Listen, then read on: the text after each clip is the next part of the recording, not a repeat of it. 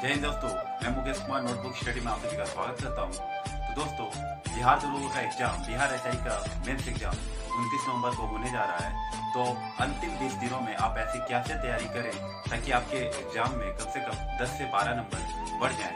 तो मेरी पत्नी, मेरी वाइफ भी आपके सब इंस्पेक्टर के पोस्ट पे बिहार पुलिस में है। तो उनसे मैंने एक्सपीरियंस पूछा कि आपका एक्सपीरियंस कैसा रहा था? आप अंतिम बीस दिनों में किस तरह से तैयारी की थी? तो उनका जो एक्सपीरियंस है, मैं आपके साथ शेयर करना चाहता हूँ, ताकि मुझसे जुड़े हुए, मेरे चैनल से जुड़े हुए जो भी लोग हैं या जो नहीं भी जुड़े हैं अभी तक तो उनको इससे फ़ायदा मिल जाए, ताकि आप, जो भी लक्ष्य है, आपका वर्दी आपको मिलना चाहिए। वर्दी आपका लक्ष्य है तो इस वीडियो के माध्यम से कम से कम अगर आपके 10 से 12 नंबर भी बढ़ जाते हैं तो मेरी मेहनत सफल होगी। तो आइए फ्रेंड जो एक्सपीरियंस है, उसके आधार पर मैं आपके साथ डिस्कशन करता हूँ कि अंतिम बीस दिनों में आप कैसे 2020 मैच खेले, ताकि आप अपने गोल को प्राप्त कर लें।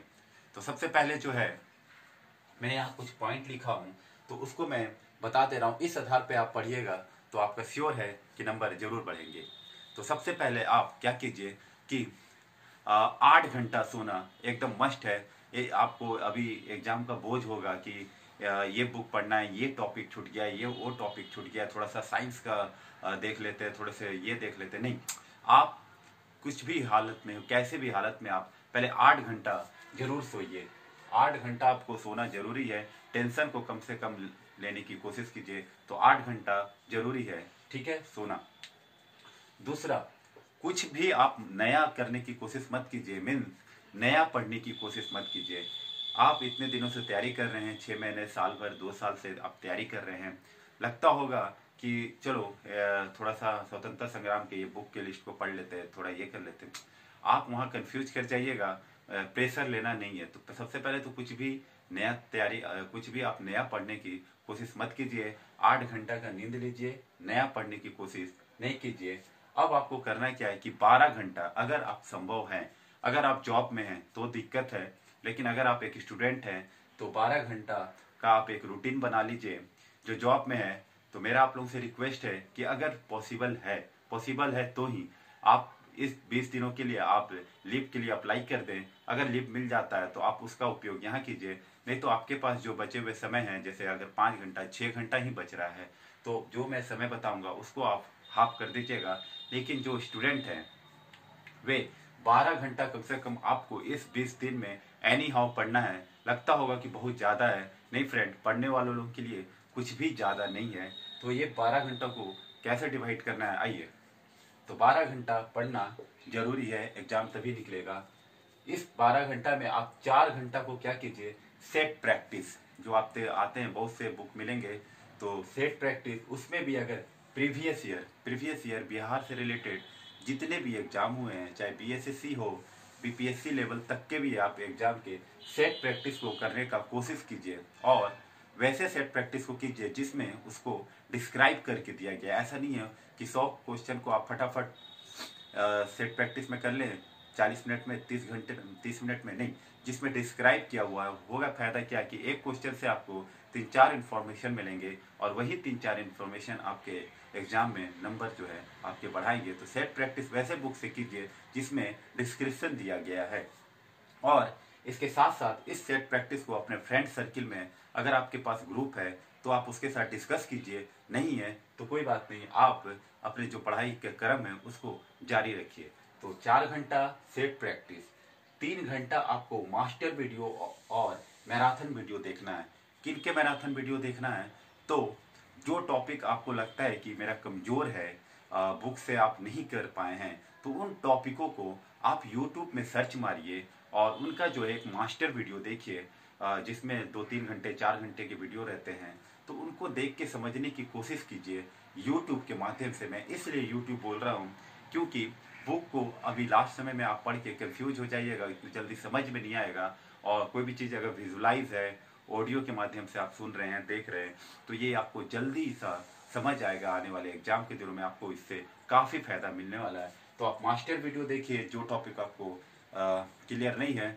एक मेरा आप लोग से और रिक्वेस्ट है कि अगर संभव हो पाता है तो आप लोग ल्यूशियंट या क्राउन ल्यूशियंट बुक जो आपके सामान्य ज्ञान का है, ये ल्यूशियंट बुक या क्राउन बुक ये। ये दोनों में से किसी एक को भी अगर संभव है तो दोनों, और नहीं तो किसी एक के, आपके जो मास्टर वीडियो है, उसको ज़रूर देख लीजिए। ल्यूशेंट का ऑडियो सीरीज़ है ऑडियो को आप लगा के सुन सकते हैं, वे भी काफ़ी फ़ायदेमंद होंगे। और क्रॉन बुक अगर ल्यूशेंट से ज़्यादा इसमें फैक्ट दिए रहते हैं तो आप क्रॉन बुक को भी देख सकते हैं, काफ़ी अच्छी बुक है। तो इसके भी ऑडियो सीरीज़ को, या फिर वीडियो अगर कहीं पढ़ाया जा रहा है, मैं भी पढ़ा रहा हूँ क्रॉन को। हालाँकि ज़्यादा नहीं हुआ पाँच छह क्लास ही पढ़ाया हूँ। लेकिन मैं उसे पूरे डिटेल से पढ़ा रहा हूँ। तो जो भी संभव हो, आप उसको देख ले, मेरे क्लास से देख ले, किसी और की क्लास से भी देख ले, लेकिन ल्यूस्टेंट या क्राउन नहीं तो आपको जो टॉपिक कमज़ोर है, आप उसके मास्टर वीडियो को एक बार ज़रूर देख लें। नेक्स्ट आते हैं। आपको दो घंटा, क्योंकि अब जो एग्ज़ाम का ट्रेंड बदल गया है करंट अफेयर के काफ़ी क्वेश्चन पूछे जाते हैं। लगभग 15 से 20 परसेंट क्वेश्चन जो है 100 में आपके 15-20 क्वेश्चन आपको करंट अफेयर के श्योर मिलेंगे। 15 क्वेश्चन तो आपको कहीं नहीं जाएगा। तो करंट अफेयर को आप इग्नोर नहीं कर सकते हैं। तो दो घंटा समय आप दीजिए। अक्टूबर 2019 से लेके नवंबर 2020 तक के आपके, नवंबर 10 तारीख तक के जो भी आपके करंट अफेयर है 10 उससे ज़्यादा मत कीजिएगा। तो अक्टूबर 2019 से नवंबर 10 नवंबर तक के जो भी करंट अफेयर है, उसको आप अच्छे से वीडियो के माध्यम से देख लीजिए। या फिर आपके पास अगर वार्षिकांक है तो एक बार आप उसको पलट सकते हैं। नहीं तो आप क्या कीजिए जो मैगजीन पढ़ना है आपको अब ये ए, क्या बोलते हैं करंट अफेयर के लिए तो इन तीन मैगजीनों का आप वीडियो देख लीजिए यूट्यूब पे तो आपको काफ़ी इससे हेल्प मिलेगी। कौन से मैगजीन है? प्रतियोगिता दर्पण का आपको अक्टूबर 2019 से लेके आप इसको दिसंबर प्रतियोगिता दर्पण के दिसंबर या नवंबर से देखिएगा क्योंकि उसमें एक महीना बैक रहता है तो प्रतियोगिता दर्पण नवंबर 2019 से लेके आपको करंट तक पढ़ना है, जो दस तारीख को आएँगे उनके तक पढ़ना है, और स्पीडी एडुटेरिया का करंट अफेयर। ये तीन बुक के आपके प्रैक्टिस के जितने भी आपके हैं वीडियो उसको देख लीजिए। खासकर जिन्होंने इसको समझाया है स्पीडी और एडुटेरिया के, उनके आप करंट अफेयर देख के जाइएगा। जो समझाए हैं, एक पॉइंट को दो तीन लाइन में, उनके वीडियो को ज़रूर देख के जाइएगा। सिर्फ़ फैक्ट वाले देखिएगा तो उतने आपको बेनिफिशियल नहीं होंगे जितने आपको मैंने बताया कि एक क्वेश्चन में जिसके तीन चार आंसर रहेंगे, उस संबंधित तथ्य रहेंगे, वो आपको काफ़ी हेल्प मिलेगा।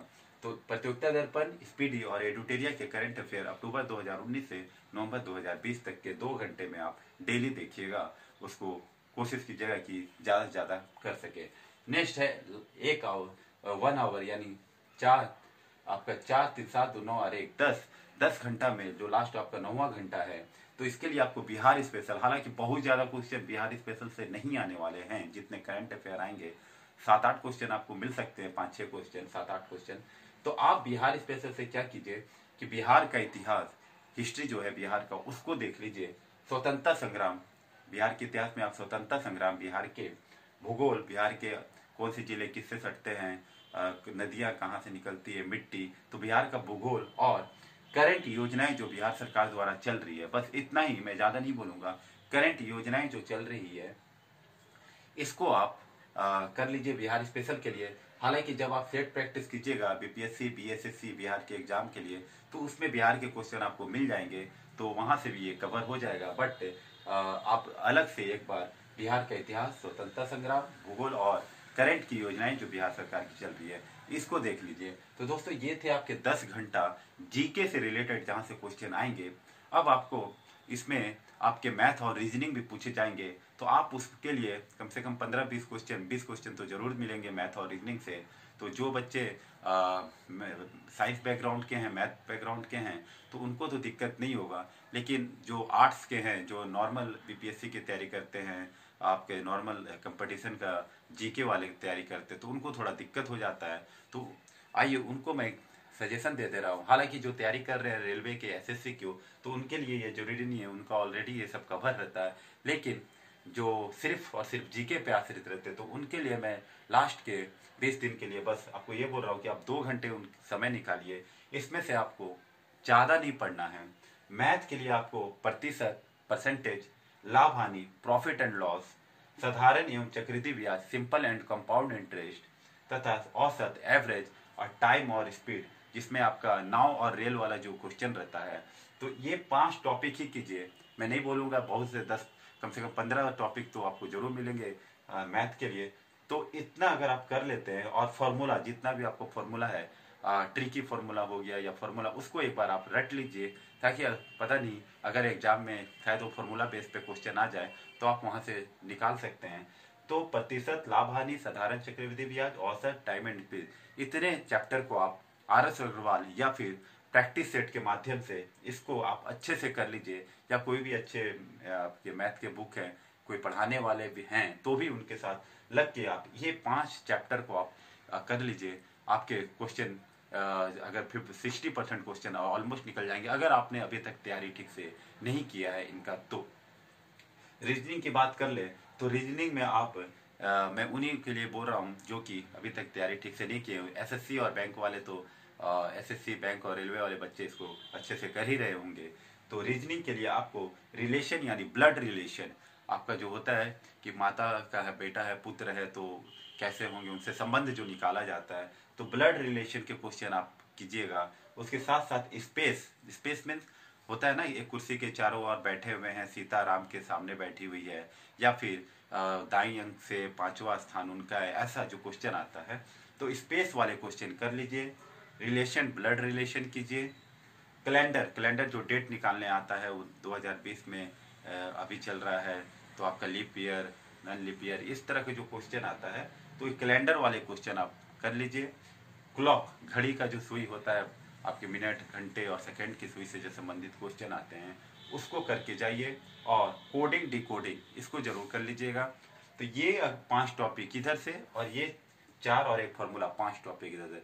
दस टॉपिक को आप करके जाइए प्रैक्टिस सेट के माध्यम से प्रीवियस ईयर और हो सके तो अपने बुक के माध्यम से, किन्हीं से हेल्प लेके, जो भी आपके बड़े भाई हैं, दीदी है, या दोस्त है, जो इसमें मैथ और साइंस बैकग्राउंड के तो उनके माध्यम से आप इसको करके जाइए। डेफिनेटली मैं बोलता हूँ कि अगर 20 क्वेश्चन यहाँ से आते हैं 18 क्वेश्चन आते हैं तो आप 60 परसेंट या 50 परसेंट तो श्योर करके जाइएगा। बस इसी पाँच टॉपिक से पूरा बुक करने का कोशिश कीजिएगा, नहीं हो पाएगा। तो आई होप आप लोगों को ये जो मैं रणनीति बताया हूँ कि कैसे आपको ये करना है ताकि आपके 10 से 12 क्वेश्चन बढ़ जाए। तो आई होप आप लोग को यह अच्छा से समझ में आया होगा। तो अगर समझ में आया तो मेरी बातों को आप कमेंट करके मुझे बताइए कि कैसा लगा और मेरे चैनल को सब्सक्राइब कर दीजिए। लोगों के बीच इसको शेयर कर दीजिए ताकि और भी बच्चे इसके बेनिफिट उठा सके। तो मिलते हैं हम लोग नेक्स्ट वीडियो में। जय हिंद।